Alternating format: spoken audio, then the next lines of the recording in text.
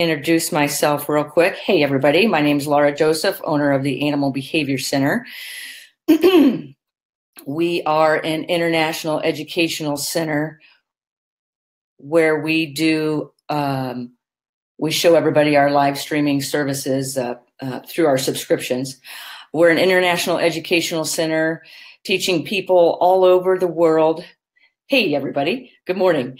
About using living, loving, and learning with animals using applied behavior analysis and positive reinforcement. And we do that through our live streaming services. Um, and this one we bring to you free every Sunday morning at 9 a.m. Eastern. Hey, everybody. Good to see you guys on here. Um, I see a couple of Heathers and Sean and Tim. Um, good morning, everybody. Um, so, hey, Jennifer. Hey, Bobby. Thanks for uh, joining us again this morning. Uh, this morning we have a special guest, Laura Zitzelberger, Director of Operations at Nature's Nursery, and she's going to be bringing on a couple of special guests this morning as well for you guys to see. Um, but before we get start started, um, like I I like to do a recap of the following week or the past week. Um, we've had quite a bit of activity here the last week, and um, I have um, Quincy, our Rottweiler, in here with us this morning. Good morning, everybody. Hey, Bettina. Um, so let's go ahead and get started. This broadcast will be an hour. I'm going to do a recap real quick of the past week and show you some things we've been working on. With that being said, we have our um, every year we do one, maybe two events um, where we open our doors here locally to the public. We are located in Northwest Ohio, right outside of Toledo. We're in Sylvania, Ohio, and um, we have. Uh, the director of the Indonesian Parrot Project flying in uh, to spend a weekend with us. Good morning, Terry. Uh, the second weekend in May and we'll be doing a cocktails and canvas fundraiser for the Indonesian Parrot Project when Bonnie Zimmerman flies in.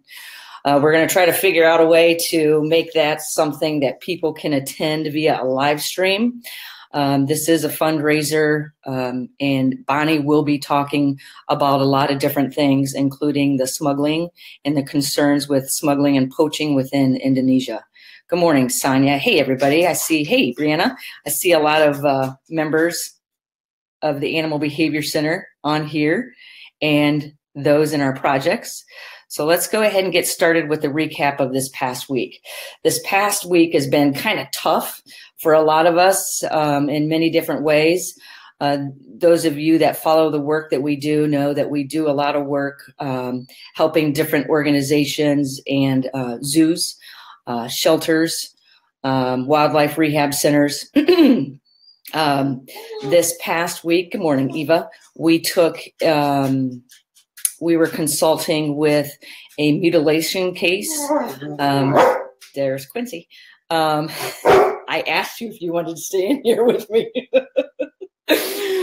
um, we took in um, a mutilation case, which is it's hard for everybody to it's hard to see, it's hard to work with. Um, and um, once it was determined that it was not medical, it was a behavior issue, um, they called me in uh, to start intervening, and we put a behavior modification plan in place immediately. Quincy, you're getting all caught up in my technology here.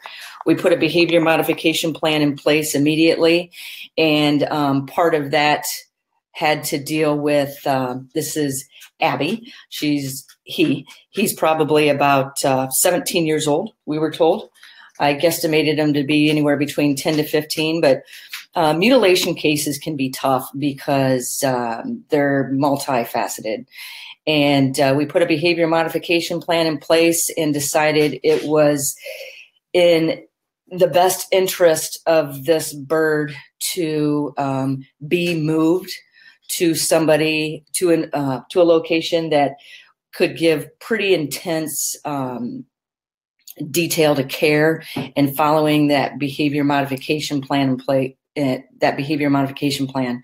So um, I ended up reaching out to some of the people in the Parrot Project, and a couple of people came to mind that could help me in getting this bird transferred to where it can it can um, have the detail and care that it needs. So Shelly Hostetler came in and uh, picked up the bird, and the bird Abby is now in her care.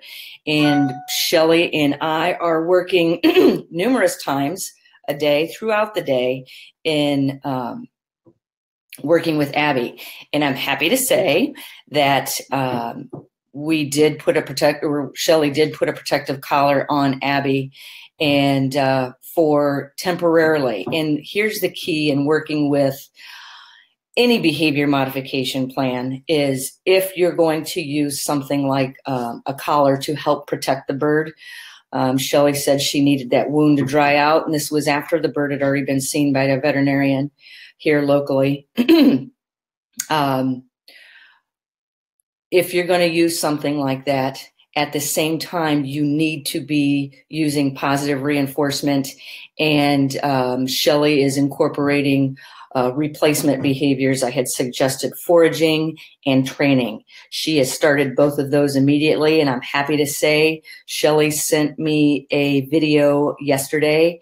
Abby's collar is now off. So, uh, but not permanently for for short amounts of time while she is um, focusing on redirecting and implementing a replacement behavior. So Shelly is on here this morning's live stream, and I just want to say kudos to the awesome work you're doing, Shelly. Um, like I said, Shelly and I are collaborating numerous times a day. She's being very detailed in everything she's implementing, and I'm guiding her along the way in any questions she has. So kudos to you. Um, with that being said, spring is here, and that's going to be the topic of today's uh, Coffee with the Critters, um, spring babies. But um, one of the things we're working on here is it's time that the weather is getting warmer. We're moving animals outside. We're starting to get them going on different outings. So, where we begin training our animals to walk loosely on a leash is in the house in the middle of the winter to get them ready for the park when the spring comes. Because as you guys hear me say, when you start training an animal to walk at the park is not necessarily at the park. So um, these guys have their brilliant canine harnesses on, and I will be interviewing Terry James um, soon because this is an ergonomic harness um, designed specifically. She's a previous horse trainer, and it's just a fascinating story and a fascinating way to see how these harnesses work. Uh, we're interviewing her in level one, and um, she's providing a discount to our level one members for these harnesses.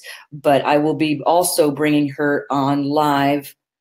Um, here in Coffee with the Critters, I believe it's in June, to show uh, the thought process behind these harnesses. It's pretty fascinating. so, because the mutilation case has been taking up a lot of our time, um, and rightfully so, I don't have a lot of other updates to bring on for this week. But one of the things we're doing here, here's our volunteer Lindsay Douglas doing some awesome work with Rocky the Moluccan cockatoo. She has never picked him up before, and here she is picking him up. Um, spring is here. Um, and with spring brings a lot of other behavior, not necessarily issues, but concerns. So we're focusing a lot of our time with that. We just did a live stream in our level two membership, which is for professionals. Um, on Monday, we did a live stream focusing on um, seasonal changes in working with raptors. We did that in level two this week and it went pretty fabulous. But this is Willie, the 16 year old turkey vulture, here for training from Nature's Nursery. And um, spring is in the air here too. Mm. So anybody that cares for trains um, a turkey vulture ambassador knows exactly what I'm talking about and working with these behaviors. Um, so there she is. We just redirect behavior. Um, with that being said, I believe it is time to bring on Laura Zitzelberger. Um, she is director of operations at Nature's Nursery here is their website, and you can find more about Nature's Nursery on their website, natures-nursery.org. This is an organization that I volunteered for over eight years, and uh, that's how I met Laura. And um, a lot of interesting work, and we have a lot of fun. So let me go ahead and bring Laura on here. There she is. Good hey, morning. Laura. Good to Hi. see you. Just uh, finishing up feeding baby squirrels. Yeah. So. We we did a test on this last night and I got to get a sneak peek of the feeding of the baby squirrels. There you go. So um this is what one of three or four? One of three that were all systematically brought up to the house by a cat. So can you gotta watch those cats outside. So, so what would you say? What about the cats outside? they these were um, all probably from the same nest. The cat must have figured out where the nest was and systematically brought all three up to the house. So that's how we ended up with them. Yeah, so that I know there's a lot of controversy out there about people leaving their house cats outside running around. This right. is one of the concerns, right? Right. Yeah, and there's you know there's you know sadly all those cats you see outside are due to you know humans not being responsible uh, they're not a natural part of the process, but they are out there. So yeah, there's that that balance between uh, what to do with them. But all I can say is I encourage people to please not let your cats outside. Um, you know, the, the the feral cat population is a whole whole different topic. But you know, it's if we can keep our pet cats inside, that's the best thing. Mm-hmm. Yeah. Um, so with that being said, what this was uh, somebody's house cat that brought in all these babies? Yeah.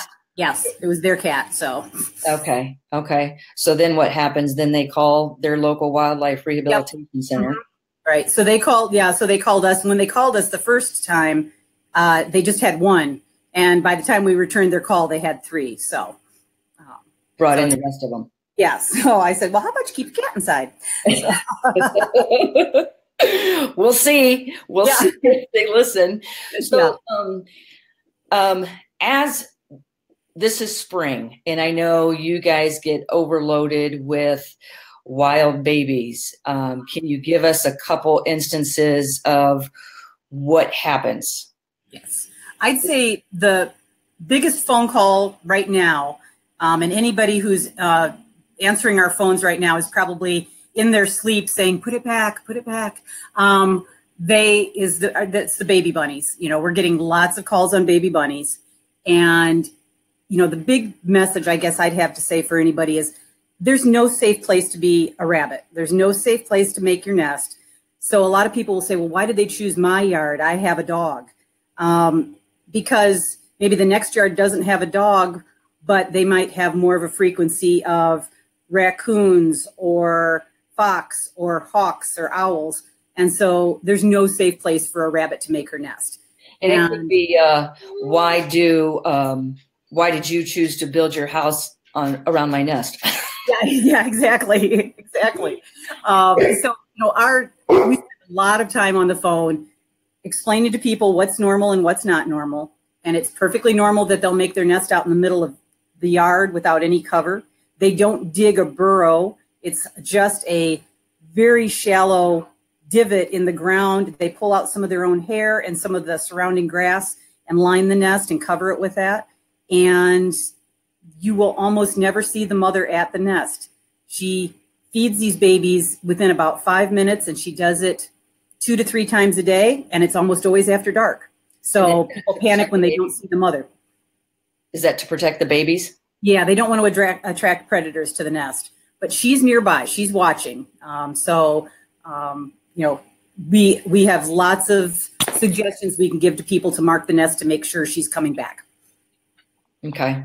So um, the key here is sorry, I've got a Rottweiler that's taking. I, I, locked all my cats out of the room. So I asked her, "Do you want to be in here? Because you're going to be shut in here with me for the next hour." Um, Okay, so I guess one of the so people find these babies prob and I remember finding a nest of babies. This was years ago when I was in college. Um, so I found the nest and I was like, oh no, I have to get these to safety. Well, they probably already in safety. Yeah, exactly. You know, it, you know, there's a lot of rabbits out there. They're doing something right. So, uh, um, you know, and people will, you know, there's the old wives' tale. Well, my my kids got into the nest and they handled the babies. That's fine. Put them back. Um, you know, I've had people bring us baby bunnies, and if I've had a nest in my yard that was about the same age, I've stuck those babies in there and checked on them over the next few days, and Mama's taking care of all of them. She, they're hardwired to raise their babies, and they're not going to give up on them simply because somebody touched them or because the dog dug up the nest. So, you know, there's there's also every um, circumstance is different. So I always hate to give a blanket. You know, we joke that the the rule with bunnies is put them back, but you know, there's circumstances where they do need to come in, um, or maybe some of them need to come in. If the dog got into the nest and pawed some of them and they're injured, those should come in, but the healthy ones can still stay. So, um, how long does it? How long should people expect that nest of babies to be there? How long does it take them to they're pretty quick. Whereas these baby squirrels have probably just gotten their eyes open and they're about a month old. Okay. Baby bunnies are almost on their own by the time they're a month old. So they get their eyes open at around, you know, 12 days or so. And they they are still pretty small when they're old enough to be out of the nest, eating on their own, maybe still nursing from the mother occasionally. So, you know, from start to finish, they're probably going to have maybe a month of those bunnies being in the nest. And, you know, we can give them suggestions on if they need to let their dogs out, what to do. You know, they can cover it with a, a milk crate or something like that, put a brick on top if it's a bigger dog that might try to get to them. Every time the dog's let out, do that. dogs out. Yeah, it takes a little effort on people's parts, but you know, we've we've uh, over the years we've gotten more and more firm about we're not going to take healthy babies just because it's an inconvenience to have them in your yard.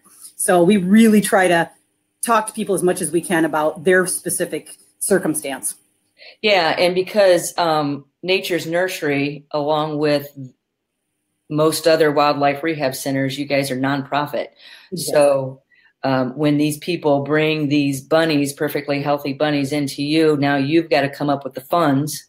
Exactly, and it's, it's, it's more than what you would think um, because it's not just feeding them. It's um, having the proper medical care if they start to get bloated or start to get diarrhea. Um, the formula that we use is not just puppy or kitten formula. We special order for the species um, and in big 20 gallon buckets of powder uh, that cost hundreds of dollars. So it's, um, and then, and then there's having pre-release cages for them and the volunteers and the staff to take care of them until they're doing well enough to go back out into the wild. Yeah. Um, something, what, what else I was going to say? Um, so with the okay, so what what do you go through if you're working with uh, rehabbing them? What's the process that you work through? Because you're obviously handling them. Oh, I know something else I wanted to talk to about was people who try to intervene and feed on their own. Yes. It, and, and I've seen that just from my time being out at Nature's Nursery. Mm-hmm. You know, I'll let you give the advice because a lot of these people are bringing it in, just feeding it, you know, different foods that are doing a lot of harm. Yeah, I mean, you know, I just did a post on our um, Facebook page about how important it is not to feed something if you find it, because whether it's a baby animal or an injured adult animal, if their body temperature is low, if they're dehydrated, if they're underweight or emaciated, even if you fed them the right things, the energy that was going to keeping their body alive is now going to digesting this food and it takes away from all the other organs. And so you can kill an animal by kind with kindness that way. So, you know, and a lot of times people will be upset because they'll bring us an animal that perked up overnight with them because they fed it. And five days down the road, it might die because what they fed it. Results of what happened there. It's called refeeding syndrome, and so it's really important that animals not get nutrition until their body is ready for it again. Um, so that's a big issue. The other issue is most people, you know, we took in 2,880 animals last year.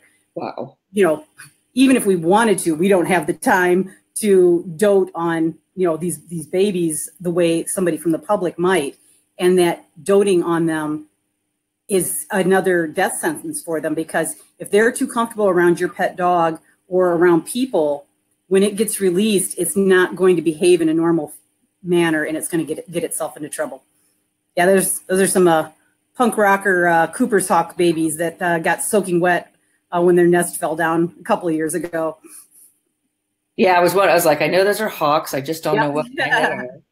Um, so okay, um, what are? I mean, I know we talked about um, ducks before mm-hmm. in the past. Be, can you elaborate on that? Like what sure. people might be seeing, what's normal, what's not normal?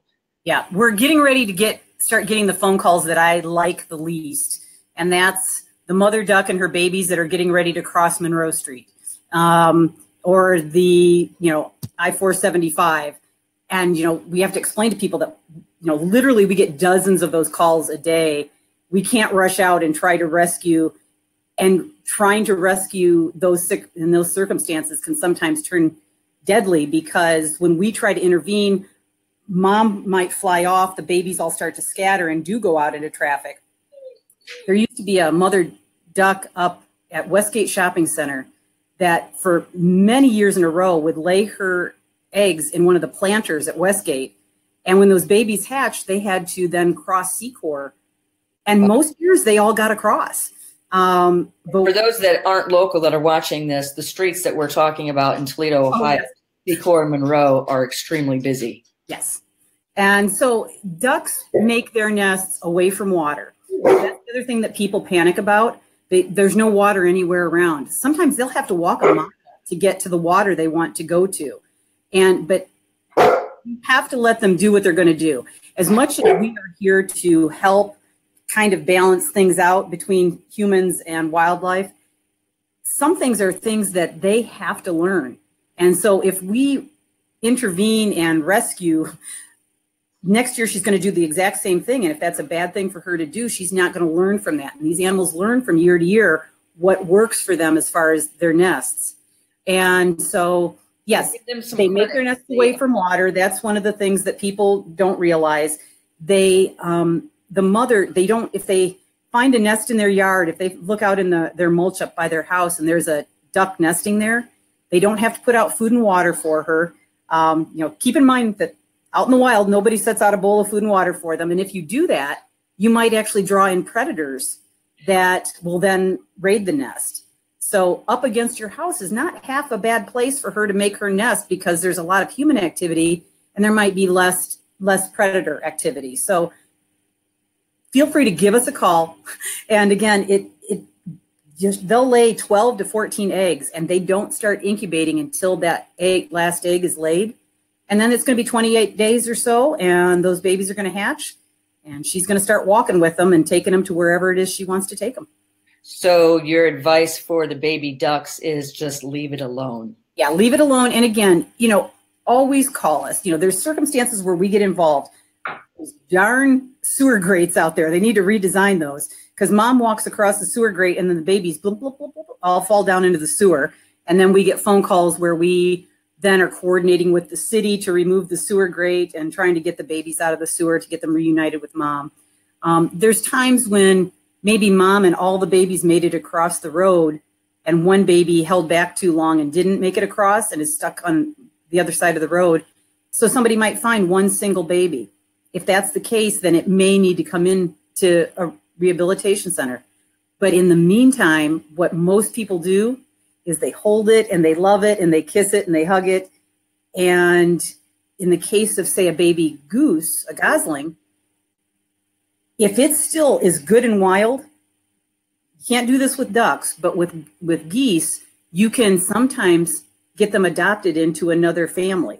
So we can go and find another, you know, goose who's got babies about the same age and get this one in with hers as long as people haven't handled it too much and made it act different from everybody else. Good, so, good information. All, all different circumstances. Um, so I'm just going to show um, this picture hmm. is a bunch of baby bunnies. Yes. Um, when was this? Uh, this was from last year, and it, you can see that they're all different sizes in this. Um, this was probably, you know, partway through the day, the bunnies that we had taken in. Um, and then what we do from this point um, is get them all weighed, get them into batches according to their weight, and then we tube feed them based on their body weight. And so litters don't necessarily stay together. That's why um, if somebody brings an animal to nature's nursery, we give them a case number so they can call and check on it if it's an injured animal.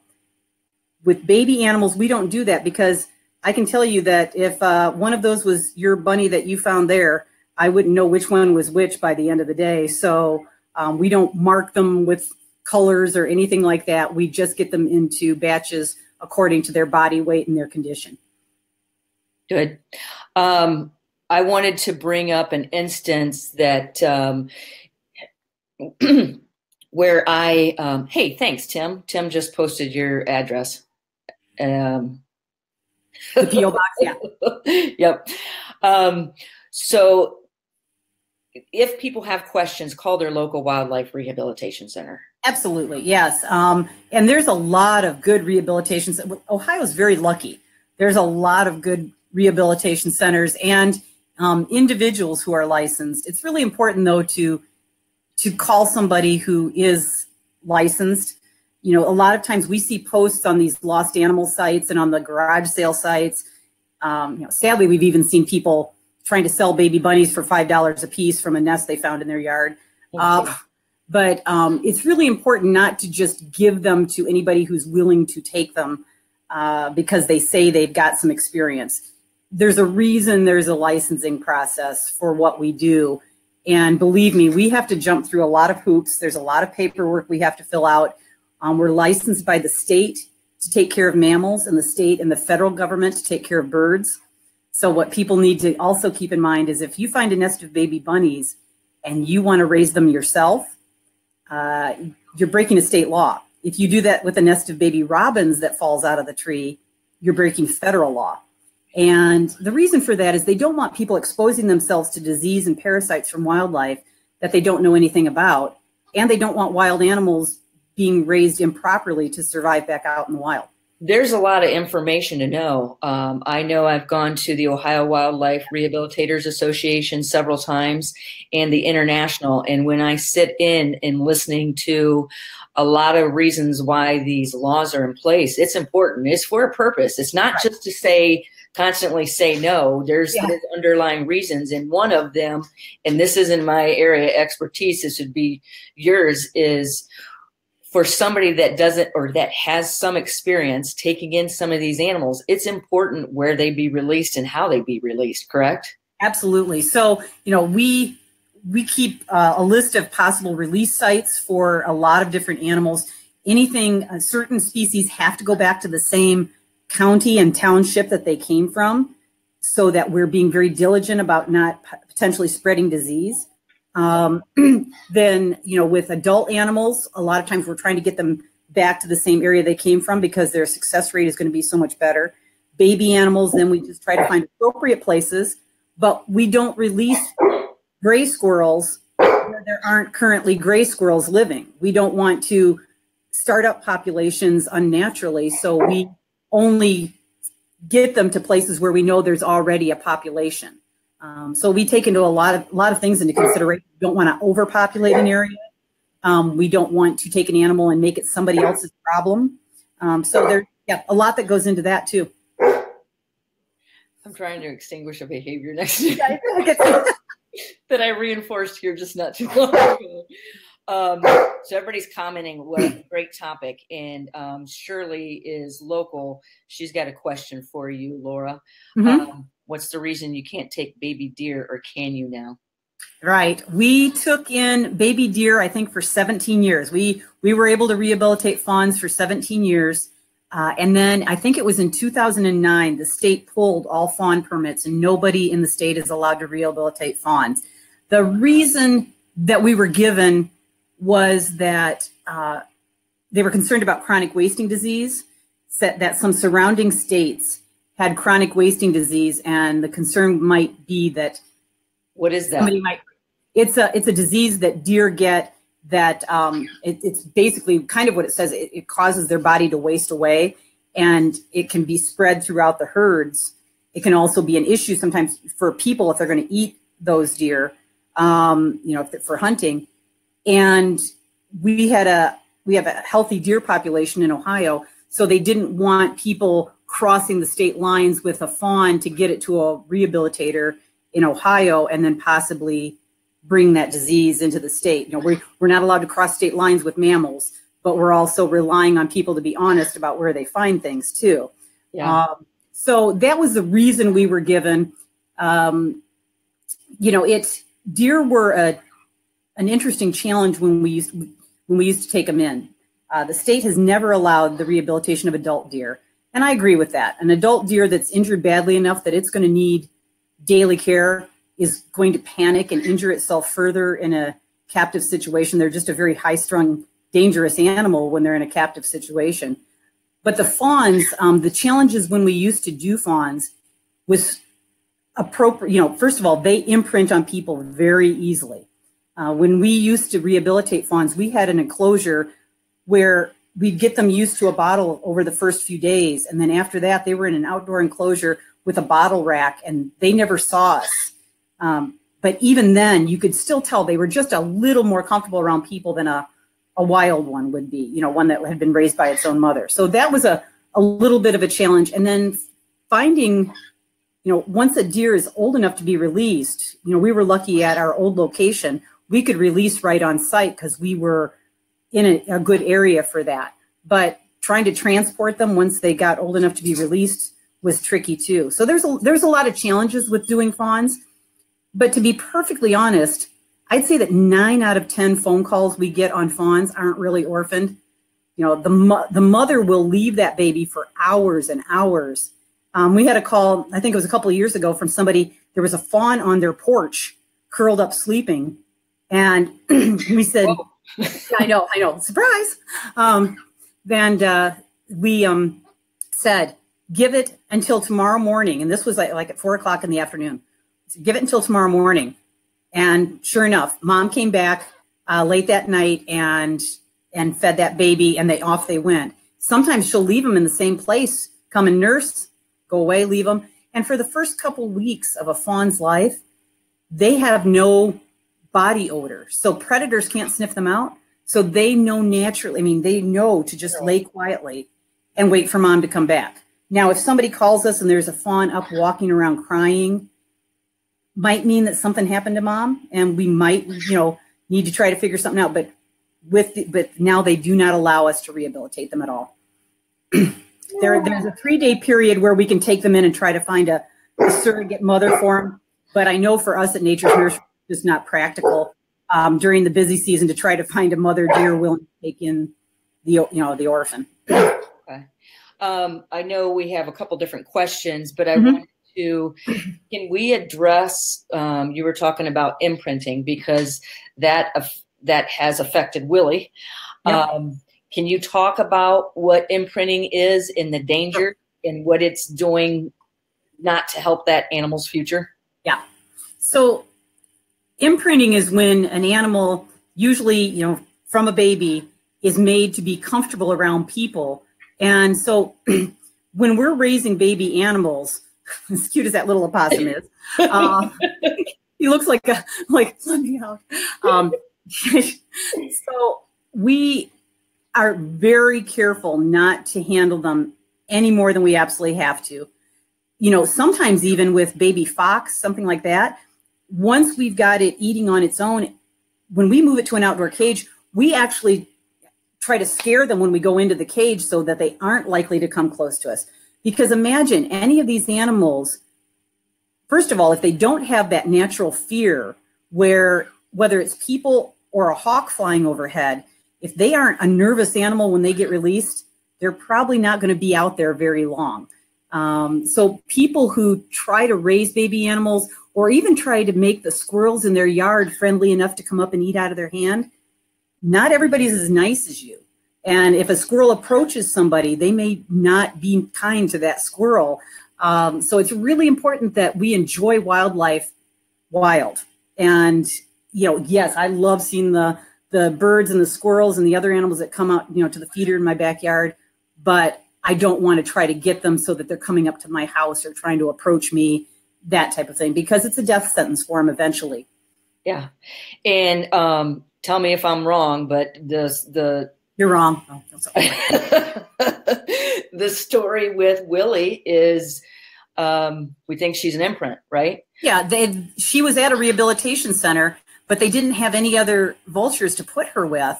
And a lot of times, rehabilitation centers work together. They'll call other facilities, and you know, last year we had a a baby fox, and we weren't getting any others in, so we got it to Brukner Nature Center, who then got it to somebody that they work with that was just doing fox.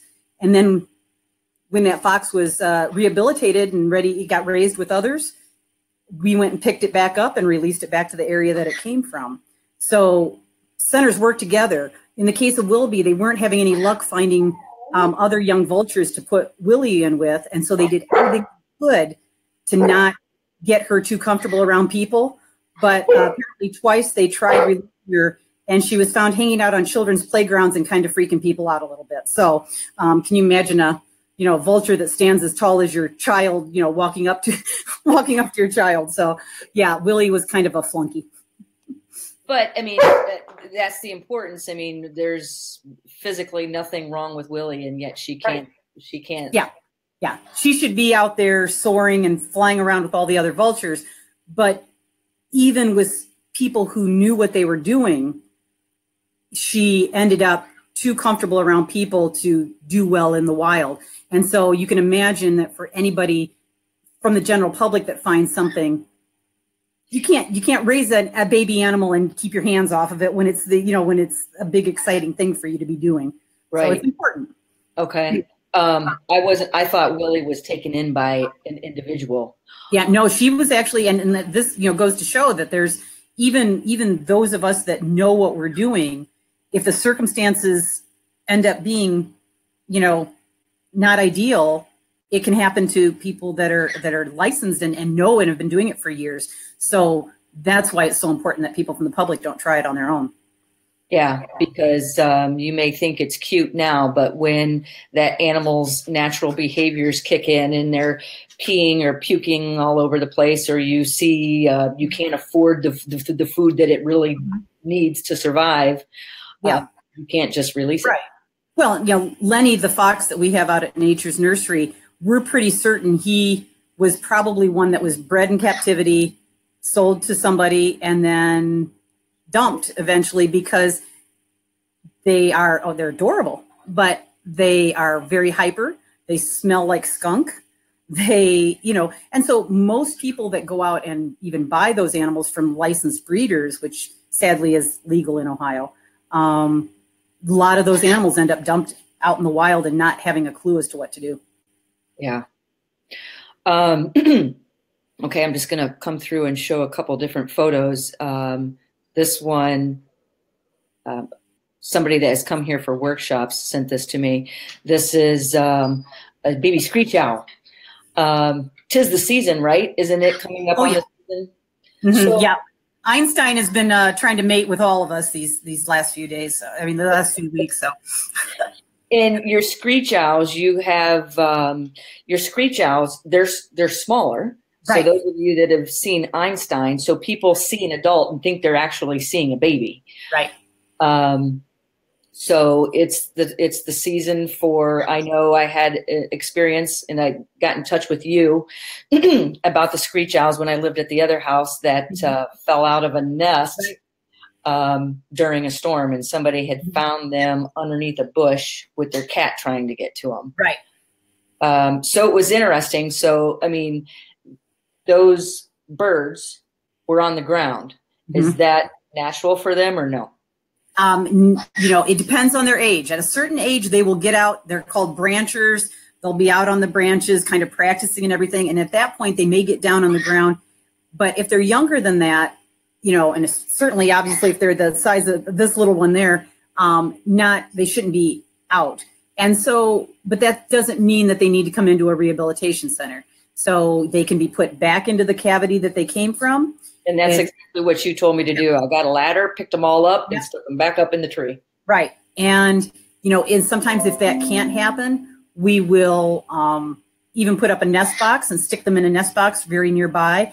And the mother hears their calls and starts going back to them there.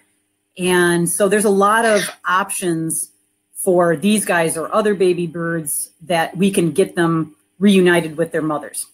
Yeah. And I just want to say this screech owl was not here at the Animal Behavior Center. That's not what we do. Um, this is, uh, I just want to give credit, to Erin Klauser. She uh, used to volunteer at the Medina Raptor Center. Um, so that's who that is. Um, okay. Um, what else? What other common calls do you get now um, about what different types of animals? What's the most common in misconceptions? Yeah. Well, the the bunnies are definitely the most common that we get right now. The baby ducks will be the next. Some of the things that we'll be getting calls on coming up soon are going to be turtles, uh, specifically snapping turtles, but others. And it's really important if somebody sees a turtle crossing the road, if you're going to help it across the road, which, you know, just be careful if it's a snapping turtle. Um, if you're going to help it across the road, don't put it on the side of the road you think is best. Put it in the direction it was heading because a lot of these water turtles um, are heading away from water to go lay their eggs. And if you take them back to the water or to a totally different area, they could get egg bound because they're they're waiting to lay those eggs and they don't lay them right near the water. They go away from the water to do that. So it's really important. And in the case of turtles like box turtles, they live their entire life in an area the size of a football field. And so if you take them someplace else, studies have shown that many of them die spending all of their time trying to get back to their known area. And so it's really important not to remove them from the area they came from in the case of the box turtles especially yeah and that's another case of i know i talk about anthropomorphism a lot putting um, human characteristics mm-hmm. or thoughts on animals. That's another area where anthropomorphism can kill. Just yes. because you think you know what the animal's thinking right. um, yeah. so important so important. Absolutely. Uh, what other animals? Um, we're going to be getting in baby opossums. So um, opossums are for anybody that's not gotten a chance to. I mean, who can, who can love that face? Um, these guys are one of my favorite animals. They are the only marsupial that lives in this country. They so they carry their babies in a pouch. And for the ladies out there, I think you should uh, look up to the opossum because she's only pregnant for 12 to 14 days and then she has babies the size of a raisin. So um, I think she's they're doing something right. And the thing is, they do carry their babies in a pouch. So if you see a dead opossum on the road, there might, even though the mother got killed, the babies may be alive in her pouch. Most of the baby opossums we get in come in from those circumstances. And there are people out there who will stop and check a baby, I mean, a mother opossum and if there's babies in the pouch, we'll pull those babies out of the pouch and bring them to nature's nursery. And so these guys, they got there's so many interesting facts about them. They only live to be one to three years old. They're not a an animal that generally has a territory. They're nomads, so they move from place to place. They don't carry a lot of disease because their body temperature is too low to incubate disease properly. So, not that they can't, but it's very unlikely that they're going to carry rabies or anything else. They um, don't gnaw on wood, they don't dig holes.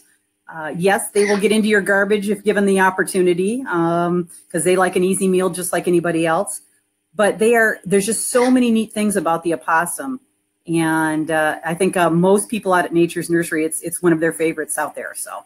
Yeah, and, uh, and, we there was a group of us together the other day, and we were talking about opossums, and um, some people, some people just really they're like, oh, they're nasty, they're mean, they're ugly. Yeah, and yeah, I mean, they people don't like the naked tail, very rat-like.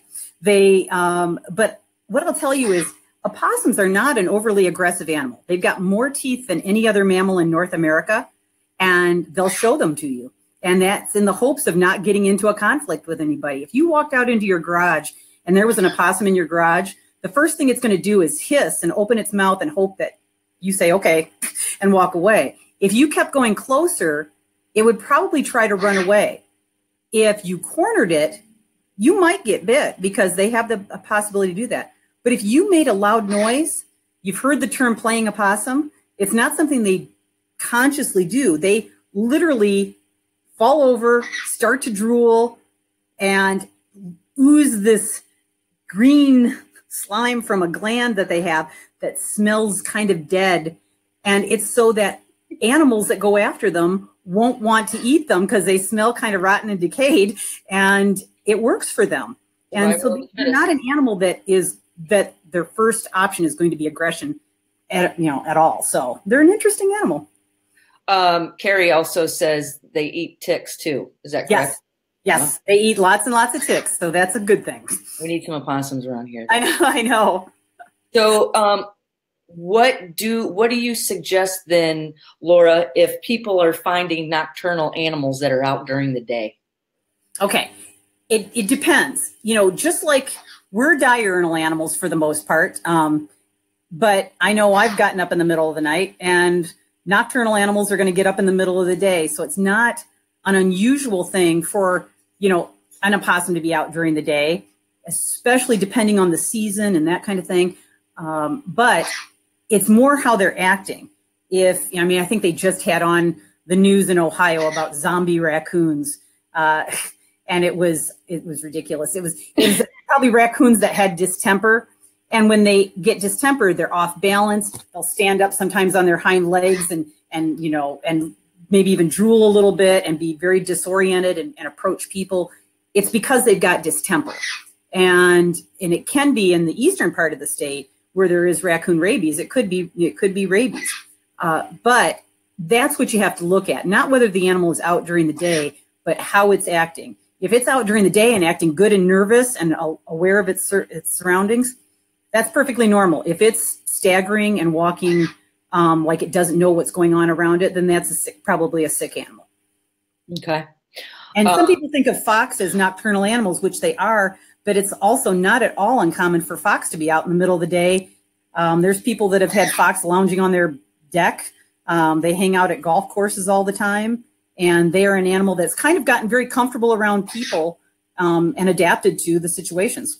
I was going to say, people, humans, are an invasive species. Right. So you're going to start seeing more mm-hmm. of these wild animals coming closer to us because they have no choice. Absolutely. I mean, you know, I got a phone call years ago from a new big housing development that went in, and the lady said, I just had a fox go through my yard. What's it doing in my yard? I, and I said, it didn't take the bus to get there. You know, it lived there all along and you're now in its territory. And we're just going to, and that's a big part of what Nature's Nursery's mission is, is to get people to coexist with wildlife. We don't have to necessarily like everything that wildlife does. And I'm not expecting somebody who has a woodchuck burrowing under their house to just say, oh, that's okay. We're going to help them with situa- the situation and try to get the animal to move on. But we do need to be understanding that we are sharing our world with a lot of different species and you might as well enjoy it because it's a lot better than trying to fight it all the time. Yeah. Um, and that's why what I say about um, a lot of people who call certain animals pests, like the crows, mm-hmm. um, the possums, the squirrels. And why are they considered pests? Is because um, they quickly outwit us. Exactly. that, that is They're the smarter than we are a lot of times. yeah. Well, it's, it's a matter, matter of perspective if you were to go over to Africa, elephants are pests a lot of times. If you're somebody in Africa trying to raise your family and an elephant tramples your entire garden in a day, that's an animal who's a pest. But we want to save the elephants. And so it's a matter of perspective. So I think we have to be a little more understanding because most of us, you know, if the bunnies are eating our flowers, in our garden, or even if the raccoons are stealing the corn out of our vegetable garden, and just at the last minute, I mean, believe me, I know. My I've had you know tomatoes where I've seen a little red squirrel go around and take a bite out of each one of my tomatoes, you know, just before I want to pick it. But I'm not surviving off of that food. And so, yes, it may They be are. a bit annoying that these animals are doing things that I don't like, but is it really, you know, being destructive to my life? And so we just really need to look at it all with a little bit of perspective. Yeah. Um, let's um, let's see. We're almost up on the hour, but um, can we talk about one more thing? And Meredith is on here from the Lorain County Metro Parks, which you saw her in level two the other day. Um, she just says a common one: If I pick up Yeah. a baby bird, will the mom smell it on me?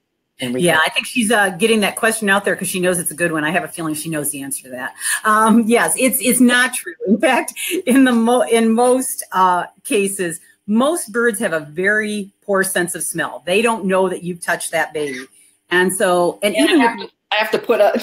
You know, you're talking about sense of smell, and I put up a yeah, turkey yeah, yeah, the one that does have a good sense of smell. Um, but uh, the you know even with the animals that do have a good sense of smell, like I said, they're hardwired to raise their young. They're not going to care. But in the case of birds, if a bird falls on the ground, a baby bird falls on the ground, if it is should still be in the nest, if you can reach the nest, you can put it back in the nest. You might want to go wash your hands afterwards because sometimes they have little mites on them that you might not want crawling on you.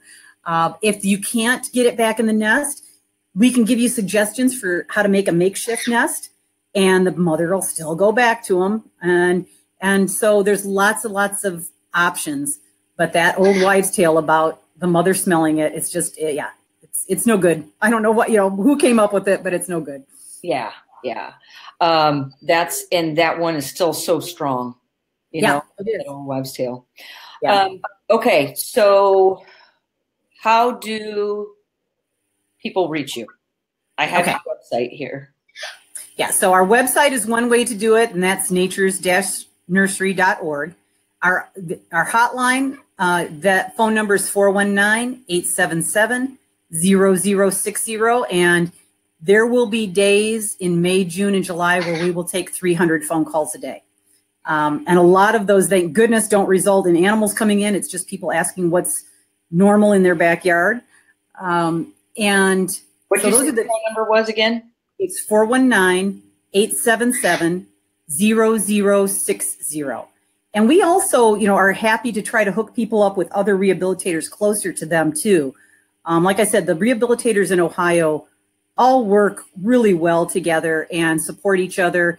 And so if uh, somebody's calling from another part of the state, we'll be glad to get them hooked up. They can also go to the um, Ohio Wildlife Rehabilitators website and um, their Facebook page to get information too.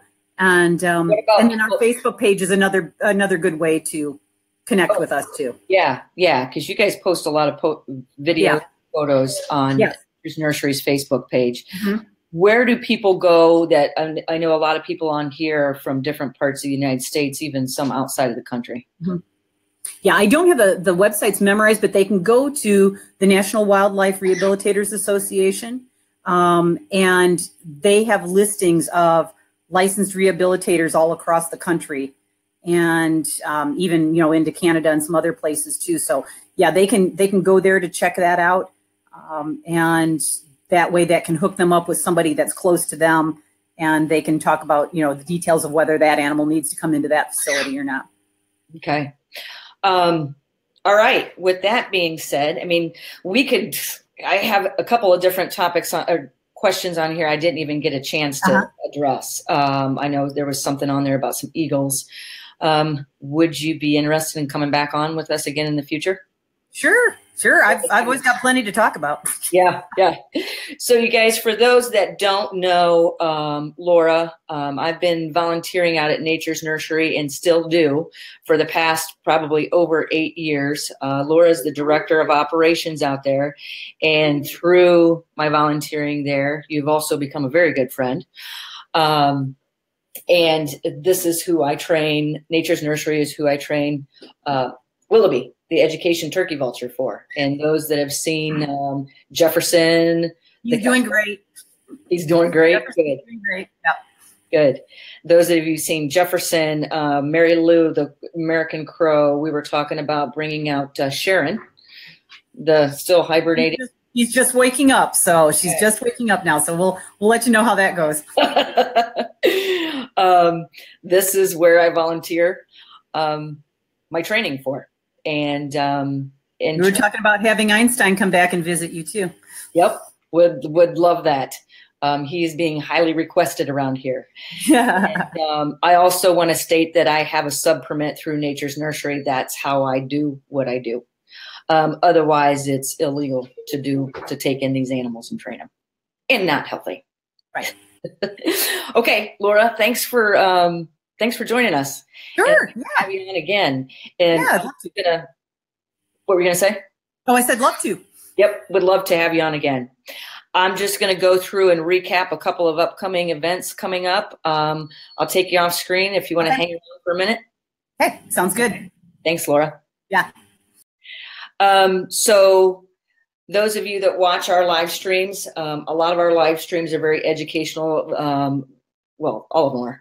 Uh, we do talk a lot about uh, training, animal behavior, training and enrichment using applied behavior analysis and positive reinforcement. For those that are interested in learning more about us, you can visit our website. Um, that's the animalbehaviorcenter.com. And you can also find um, our level one memberships, live stream annual subscriptions are for companion animals owners wanting to know more about using applied behavior analysis with animals. We have our level two, which is for which Laura belongs in, um, or belongs to. It's more for people who want more intense uh, work with applied behavior analysis in animals, um, wildlife rehabbers, professional trainers, uh, zoo trainers. Um, we have several dog trainers in there as well. And then we have our species specific, which are the pig project and the parrot project, which the parrot project is doing phenomenal. That's where we're following and doing the the work with Abby, the mutilating cockatoo. Um, so we've had several different people join just in this past week to know the steps we're taking and what we're doing. Um, just to give you, don't re- don't forget the first week in May, we're having our first ever um, all species animal enrichment workshop, a two day, hands on, very interactive workshop. Um, in October, the second week, myself and Dr. Deb Jones will be giving our first ever presentation together on um, all species animal training and behavior workshop, um, which that one is selling quickly. And then uh, join me in two weeks out at Best Friends Animal Sanctuary in Kanab, Utah, where the Pet Professional Guild is putting on a um, animal behavior and training summit. Um, so I will be there in two weeks, and I will be live streaming from there with an upcoming episode of Coffee with the Critters. All right, guys, um, feel free to get in touch with me or Laura if you have any questions um, on today's broadcast or any of our the more content. I think Quincy's about had enough. All right, you guys, I'll see you next week. Coffee with the Critters. Take care. Thank you.